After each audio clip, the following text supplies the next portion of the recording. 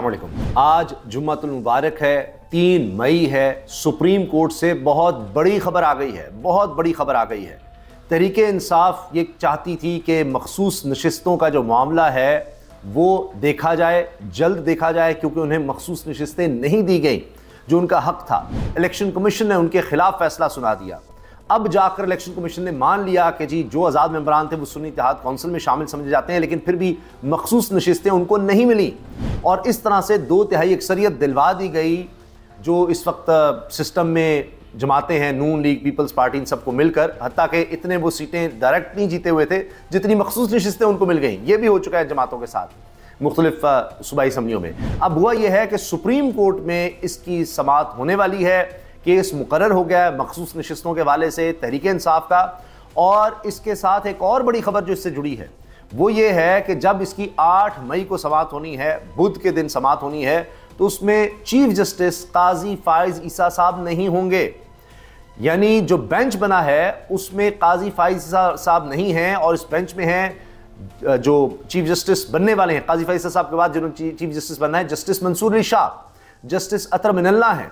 और मोहम्मद अली मज़र, जस्टिस मोहम्मद अली मज़र है। तीन रुकनी बेंच है जो समाप्त करेगा। इसके अलावा स्पीकर खैबर पख्तूनख्वा की जो दरख्वास्त है, इसी हवाले से वो भी इसी बेंच के सामने है। तो ये तो अभी देखा जाए तो 24 घंटे नहीं हुए थे कि टेलीग्राफ में इमरान खान साहब ने जो लिखा है, मजमून लिखा है, उसमें उन्होंने कहा कि जी, चीफ जस्टिस काजी फाइज ईसा से कोई उम्मीद नहीं है इंसाफ की और छः जजेस की बहादरी को सलाम किया और कहा कि चीफ जस्टिस सारे फैसले हमारे खिलाफ दे रहे हैं। और इससे पहले कई दफ़ा तहरीक इंसाफ और इमरान खान साहब भी कह चुके हैं कि काजी फाइसा साहब हमारे केसेस ना सुने। अब ये पहली दफ़ा इस तरह हो रहा है, जिस तरह बल्ले का निशान छीना गया काजी फाइसा साहब की अदालत में ये हुआ और उन्होंने दो दिन में फैसला सुना दिया, सब कुछ हुआ और बहुत से केसेज हैं, जबकि इससे पहले सुप्रीम कोर्ट का एक बेंच ये कह चुका कि काजी फाइसा साहब जब वो उस वक्त चीफ जस्टिस नहीं थे, सुप्रीम कोर्ट के जज थे, कि इमरान खान के हवाले से कोई केस काजी फाइज ईसा साहब नहीं सुनेंगे। क्योंकि ये भी हुआ था कि समाज के दौरान इन्होंने कहा, जी व्हाट्सएप पर मुझे कुछ मिल गया है और वहीं पर इन्होंने कहा, जी, इसका जवाब देंगे दें। यानी ऐसे जैसे उसी, उधर ही अदालत तक गई, आज खुद नोटिस हो गया कि जी, ये है, वो है। फिर जब पूछा गया, जी, आप किस तरह से इसमें बात कर रहे हैं? तो उन्होंने कहा, जी, मुझे व्हाट्सएप पर आए हैं। कुछ डॉक्यूमेंट्स आए हैं तो उनकी क्या तस्दीक हो सकती है? तो ज़ाहिर नहीं हो सकती, वो कहते हैं, मैं कैसे तस्दीक करूँ? मुझे ये चीज़ें आई इसका जवाब दें। तो उसके बाद ये सारा मसला बना और फिर सुप्रीम कोर्ट में इस चीज़ को देखा गया और फिर जजेस ने फैसला दिया कि काजी फैसा साहब तहरीक इंसाफ का, इमरान खान का कोई केस ना सुने। लेकिन फिर वो चीफ जस्टिस बन गए और फिर हमने बल्ले के निशान से लेकर और बहुत से इस तरह के मामला देखे। हैं तो तब से फिर इमरान खान साहब ये बार बार कहते रहे, उनकी ये बड़ी डिमांड थी काजी फाइसा साहब उनके कोई केस ना सुने, उन पर उनके तहफात हैं। और अब ये हुआ है काजी फाइसा साहब इस बेंच का हिस्सा नहीं है। और इनमें दो, जो दो जजेस हैं, मंसूर अली शाह साहब और अतरमन हाल ही में जो समात हुई थी छः जजेस के खत हवाले से उसको नोटिस केस की, उसमें भी हमने देखा कि अतर मिनल्ला साहब बिल्कुल और तरफ़ नज़र आ रहे थे, हत्या कि मंसूर अली शाह साहब भी जो इससे पहले नज़र आता था, काजी फाइसा साहब के साथ खड़े रहते थे, खड़े होते नज़र आते थे। अब वो भी कह रहे थे कि जी तमाम हाई कोर्ट्स ने, तमाम जजेस ने लिखा है कि मुदाखलत हो रही है तो काजी फाइसा साहब फ़ौरन बोले, नहीं, तमाम ने लिखा। मंसूर साहब ने कहा, नहीं, तमाम लिखा होगा नहीं, तमाम ने लिखा होगा नहीं तमाम ने लिखा है। ये भी एक तकरार हुई, काजी वर्सेस काजी हो गया। फिर अतरमिन साहब ने जो रिमार्क्स दिए कि जी छिहत्तर साल से ये कुछ हो रहा है और आ, हम किस तरह ये कहें कि जी नहीं हो रहा सबको पता है सच लेकिन लोग छुपाते हैं और आ, अगर कोई सामने आता है इन छः जजेस की तरह तो देखिए उनके साथ क्या हो रहा है। तो काजी फैसल साहब ने कहा जी मुझे इससे अलग कर दें मुझे छिहत्तर साल में शामिल न करें मेरे होते ऐसा कुछ नहीं हुआ इस तरह की उन्होंने बात की थी।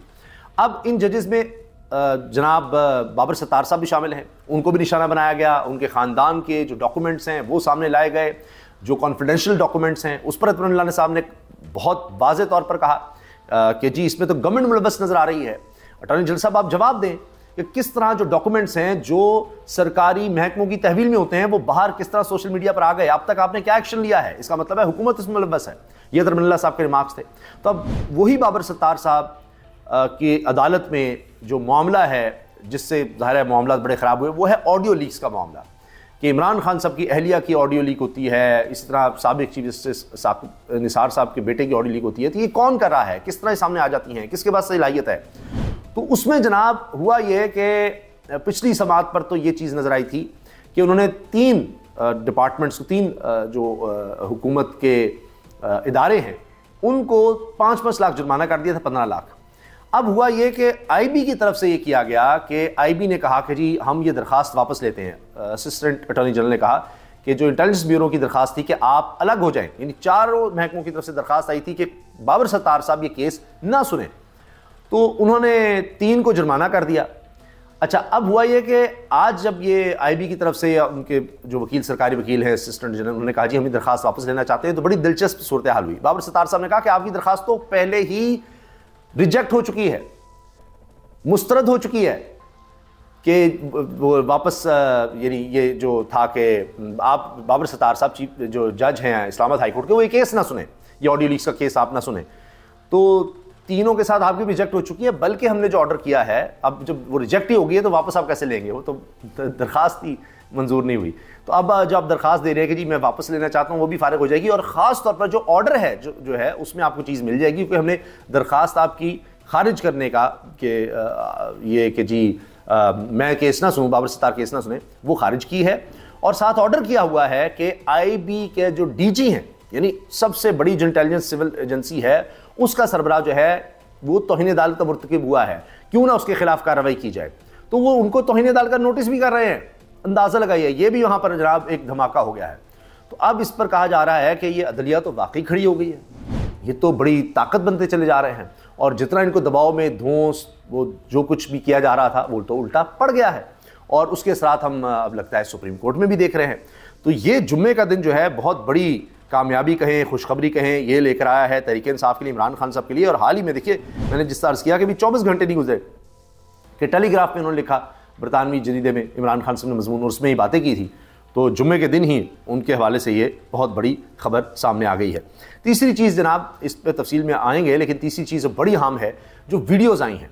दो वीडियोज़ हैं जिनके बारे में कहा जा रहा है कि ये बुशरा बीबी की बेटियाँ हैं दोनों, और उन्होंने अपना चेहरा भी छुपाया हुआ है, और वो कुरान पाक पर हलफ दे रही यानी सामने रखकर, हाथ रखकर बार बार दिखाती हैं कुरान पाक है। और वो कहती हैं, हम आना नहीं चाहते थे, हम कभी इस तरह वीडियोज़ में नहीं आए, कभी सामने नहीं आए, लेकिन हम मजबूर हुए कि जो कुछ हमारी माँ के बारे में कहा जा रहा है। हम बहुत दुखी हैं, बहुत तकलीफ़ में हैं। और दोनों उन बेटियों ने ये बात की कि एक ने कहा, मैं बड़ी बेटी हूँ, मैं शादीशुदा हूँ, ज़ाहिर है मेरे इन लॉज जो हैं, चूँकि उनके नून ली की तरफ़ है सारा मामला तो मेरे लिए बड़ा मुश्किल था कि मैं वीडियो बनाती, लेकिन अब मैं मजबूर होकर बना रही हूँ कि मेरी माँ के बारे में जो कुछ कहा जा रहा है।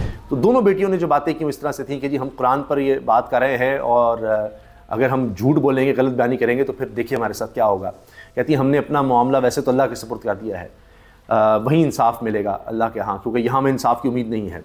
हमारी माँ ने वाकई जो है, वो बड़ी सादा पाकिज़ा ज़िंदगी गुजारी है और इमरान खान साहब ने दुरुस्त कहा है कि उन्होंने निकाह से पहले कभी हमारी वालदा को नहीं देखा था। हमेशा वो पर्दे में होती थी हती कि वो ग्लव्स पहन कर रखती थी, दस्ताने उन्होंने पहने होते थे। तो एक बेटी ने कहा, जी, हम उस पर कहते थे कि इतना भी आप क्यों करती हैं? तो आप ग्लव्स पहनती हैं तो कभी भी किसी भी नामहरम के सामने इस तरह नहीं आती थी। फिर ना उन्होंने कभी अपने आप को पीर नहीं कहा, ना कोई वो, कोई इस तरह जादू और ये वो कहती है कि जी, उन पर इल्ज़ाम लगते हैं, बहुत ही बुरे। और फिर कहती हैं, जी, हम इस चीज़ की गवाह है। कि उन्होंने इद्दत जो है वो घर में ही पूरी की थी। और बड़ी बेटी कहती है कि मेरे बहन भाई छोटे थे, हम पाँच बहन भाई हैं, लेकिन मुझे इस चीज़ का अंदाज़ा था कि मेरे माँ बाप में जब ये अलहदगी हो गई तो अलग कमरे में रहने लगी मेरी वालदा। और जॉइंट फैमिली थी, सबके सामने सब कुछ था। और फिर वो मेरी वालदा जो है, इद्दत यहीं घर में पूरी करने के बाद वो अपनी वालदा के यहाँ, हमारी नानी के यहाँ शिफ्ट हो गई। तो ये उन्होंने वीडियो भी बनाकर दी है और सामने लाई हैं। और इस पर जनाब जो रिपोर्टर्स हैं, वो भी बात कर रहे हैं और वो बता रहे हैं कि जी, ये एक के बाद एक सबूत आ रहा है। इस पर कमर रुकीन बड़े अच्छे रिपोर्टर हैं लिखते हैं अहम तरीन इद्दत में निकाह केस की समात और फैसले तक मैं अडियाला जेल कमर अदालत में मौजूद था। वहाँ पर एक वक्त आया जब इमरान खान के वकील सलमान राजा ने अदालत से कहा कि हमें मोबाइल अंदर लाने की इजाज़त नहीं।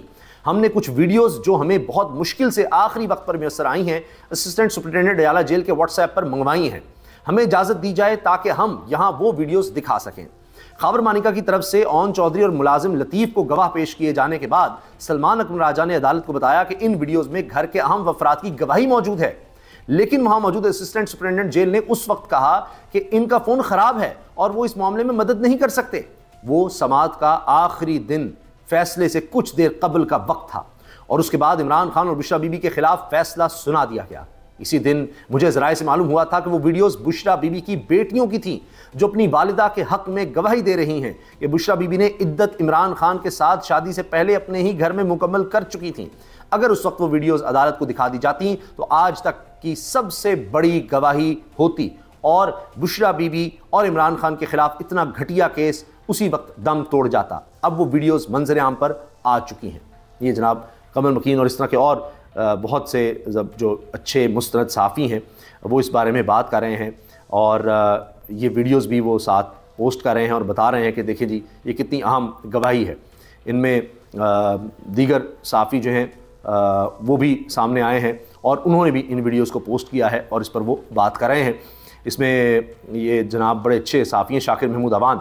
वो भी इस पर बात करें, कहते हैं, इद्दत केस अब बिद्दत बनता जा रहा है। बुशा बीबी की बेटियों का सामने आना, अपनी वालदा की पाक दामनी की कुरान मजीद उठाकर गवाही देना और फरसुदा बसीदा निज़ाम इंसाफ को का खामोश रहना, ये सब इंतहा को पहुँच चुका है। इद्दत केस अब बिद्दत बनता जा रहा है। अल्लाह के अहकाम और दीन इस्लाम के असूल कवायद से इनराफ किया जा रहा है, जो हमारे इस्लामी माशरती और समाजी निज़ाम को तबाही के दहाने पर ला रहा है। अच्छा बेटियाँ कह रही हैं कि हमारी माँ बड़ी ही पाकबाज खातून और वो कहती हैं वो सिर्फ़ उनको दीन से बहुत ज़्यादा लगाव था दीन इस्लाम से। और जो कोई किताब औलिया के हवाले से दीगर तफसीर वो पढ़ती रहती थी और आगे पहुँचाती थी। फिर उन्होंने ओन चौधरी का कहा कि उनका चले ताल्लुक तो इमरान खान से, से था लेकिन उनको शायद इसी बात पर शर्म और हया करनी चाहिए थी कि उनकी अहलिया को आ, हमारी वालदा ही इस रास्ते पर लेकर आई दीन के रास्ते पर लेकर आई।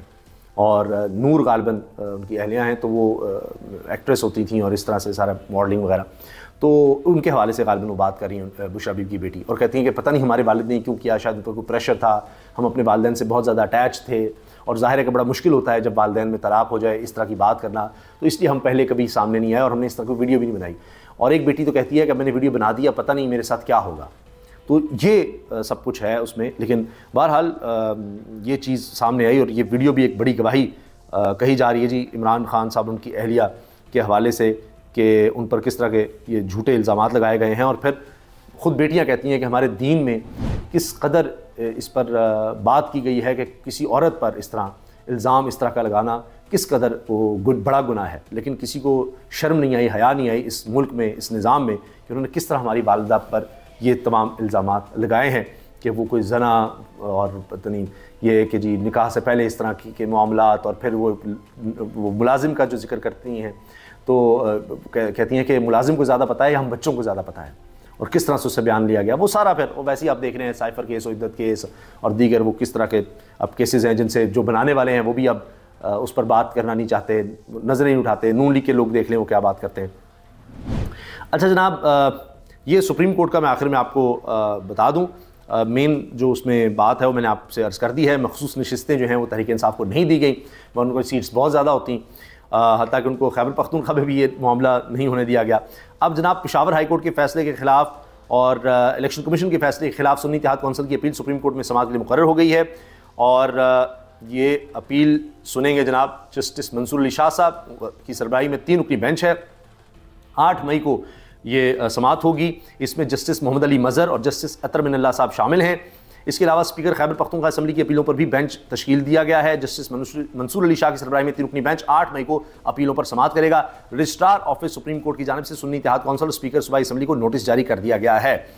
तो ये जनाब अब तहरीक इंसाफ के लिए एक बहुत बड़ी खुशखबरी है, बड़ी बात है और उनका एक मुतालबा था कि काजी फैसा साहब उनका केस ना सुने तो वो भी मामला नज़र आ रहा है। इससे पहले इस्लामाबाद हाई कोर्ट से तीनों हल्के इस्लामाबाद के जो कौमी असम्बली के हैं, वो खुलने की खबर आ चुकी है।